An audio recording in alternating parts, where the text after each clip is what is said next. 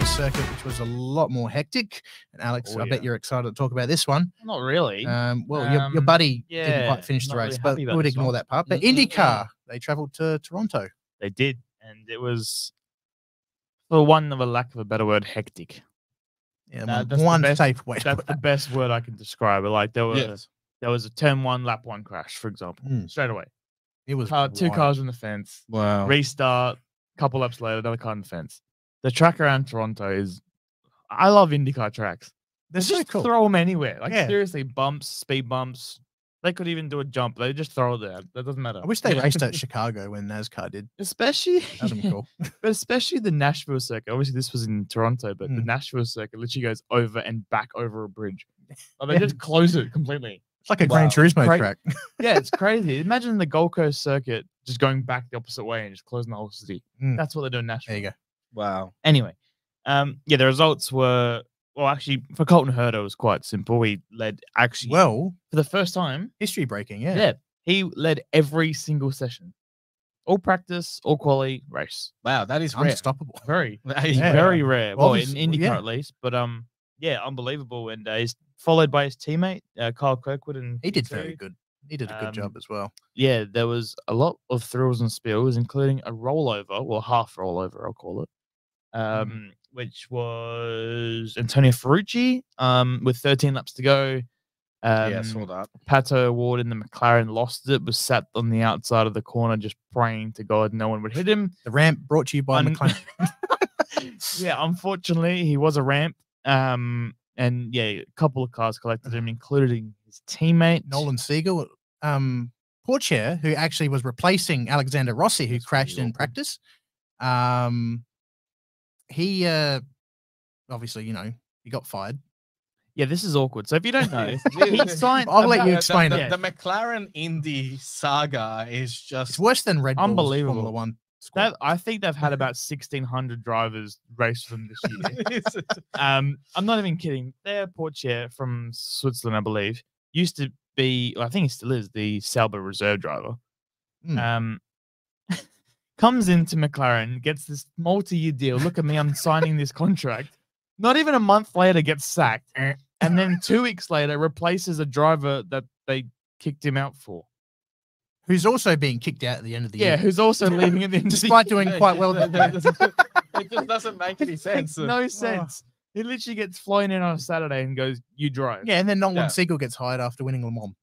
yeah, literally And wins then them all. didn't somebody get hired? Then they got a race ban, or they got like something happened to them as Oh, well. someone got hired. This is how it all started. He got hired, but then he actually had an injury, or something, so he couldn't even compete. yeah. well, So they pulled him out of the contract, and that's that's how um Theo got his got his seat, but That's some- unbelievable. only to get kicked But out. something really, really interesting happened. I don't know around 2023 or whatever. But contracts in motorsport Nothing. seem to matter no more. They especially don't mean these days. Some lawyer has been able to find a clause that says this piece of paper means nothing. You think you're safe, you are not. No, Yeah, hundred so- percent. Signed a multi-year deal, bam, gone. You know? Yeah, literally. But back in the day, um, a couple of things I want to point out. Couple, back back in the day, 12 months was 12 months. You were the Mhm. driver until the end in, of the yeah. year. The Yeah. other thing is the contract negotiations, whether it's MotoGP or Formula One, are happening too early in the season. So Mm. three or four rounds in, they're deciding the 2025 drivers or riders, and Yep. riders and drivers go through waves of performance. And so, hot today, oh quick, we gotta sign him, otherwise Yamaha's gonna get him. And then, Well, I'm sorry. th- th- then this, starts doing bad. this exact thing you're talking about is Sergio Perez. Literally, is. Exactly. As soon as Yeah. he signs a contract, he's terrible. But speaking of teammates, we'll go back to IndyCar. I feel so sorry for Scott McLaughlin. Oh, he, He was, was set for place. a podium. He was set. I can tell you. He yeah, was he was in get a podium. fourth at the time, and Will Power just thought, yeah, he was teammate. He just lost. He just lost control. Yeah. I don't It know. just it was the it, that move was not on. He, if you didn't see it, he went to go dive bomb Scott, uh, locked the rear brakes, hit Scott, and he was in the fence. I'd love to be a fly in that in that box. That's just Oh, afterwards. Roger then- will not be happy. I'll tell you that. I can But see the him worst looking part, angry. the worst part is for Scott is he is a championship contender. Well, was a championship contender, and he's Mm. lost all these points. Well, that's the thing is and Will Power is as well. So they both. He Will screwed both of them. up. rubbish. It was a rubbish weekend for Penske, which what looked like a good. You know, Scott did say they weren't the fastest car. Mm. Yeah. Colton was on another level, but you know, still got, got good so points. what's the gap now in the championship points? Like, I'll find that- it out, but is he- Well, bigger P- than Palou what it actually had a bad weekend as well. Uh, he actually had a bad weekend last time. and he in was Iowa. in front of him. Both Will Power and Scott McLaughlin were in Mm. front, and they will just jeopardize both their races and championships for nothing. And Josef Newgarden had an issue in the pit lane, which saw him have three tires on, at one point.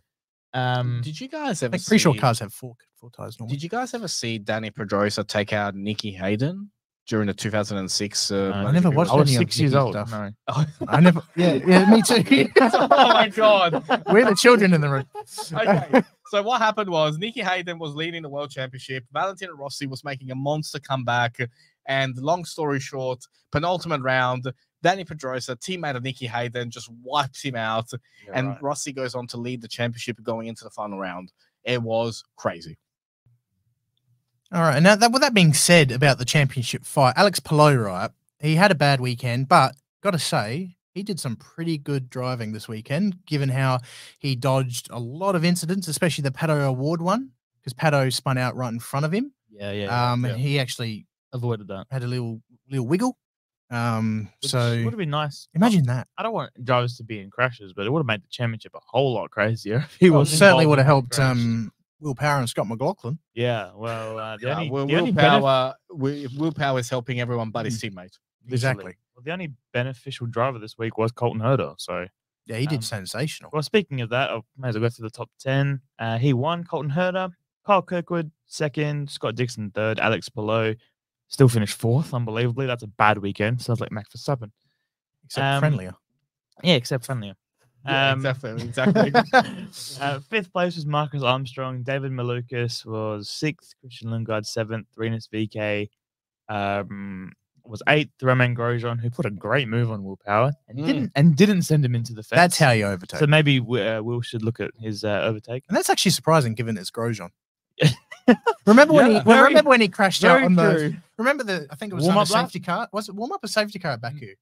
Uh, no safety car. When he just did a Safety Scott car, yeah, yeah, McLaughlin, yeah. but the difference with him and Scott McLaughlin is Scott McLaughlin had a car issue. Yes. Romain Grosjean had a brain issue. Yeah. just went straight into the skill wall. error. uh, Roman. Yeah. How's his And, uh, esport team going, by the way? Like, uh, he's got his own team, Does and he? but, yeah, yeah, yeah, but yeah, he's not redline. No, hundred percent. No. Um, That's probably why we don't even know about it. Graham Rahal finished 10th. And I want to shout out Graham. Did you know he did a steering wheel change in the pit stop? So he did a five wheel change. Wow. Wow. So he literally just stopped, pulled the steering wheel off, handed it over to the mechanic. Mechanic gave him a new one. He put it on and he lost two seconds. that's pretty good. Two. That's bang, Wow. that's really good. That's that's that's that's a fantastic stop. Mm, And given Shout how out to Josef him. Newgarden couldn't even have four wheels, Yeah. that's pretty remarkable. I have to say So that. Graham when- Rahal I have a to say that whenever I hear steering wheel changes, I, I think of Kimi. Steering wheel. Yeah, yeah. Hey, yeah. hey, hey, wheel. steering wheel. Where's my gloves? Hey, Gloves and steering wheel. come on. God, I miss him. I God, miss you him. actually do. you do a very good impression of Come Kimi. on. He's just a bit more energetic than Kimi. Actually, you, in Come saying on. that, we were saying in the watch long, you you were actually saying um, how unenthusiastic Oscar looks. Yeah, And then there was not- Kimi Raikkonen. Yeah, we didn't even touch on that. Yeah, but, oh, real quick, Oscar's not a very, you know, look at me kind of guy. He's not doesn't as really emotional as. Daniel Ricciardo, for example. No, well, Daniel literally under the seatbelts and went like this. Um, Oscar gives me Alain Prost vibes, you know, like the professor, very polished, chilled. yeah. A bit of I'll an be easier honest. accent to follow. He could win a championship and just go, thanks, guys. I Um, so good. Good Uh, teamwork. it's uh, a day I'll never forget. yeah. And then there's Kimi, who who wins the title and no, is you a, can just do impressions if this doesn't go well. My God. It's a, a, a day I'll never forget. And then there's me in Formula RX8 uh, national Screaming. yeah. championship. If you win, right? If you win a race this coming round, Yes. you got to do a Kimi Raikkonen. just go like, No, I I, it was I good. challenge you to do an Oscar Piastri. Like, thanks. This is great. uh, I give up. Yeah. It's not happening. Yeah. It's just not Ah. happening. Um, you're more likely to see a nudie run down the straight than a just hang on, are we hang on. Let's not make announcements before it's too Yeah, late. true. Otherwise, you might end up being having to do a nude. well, let's. yeah.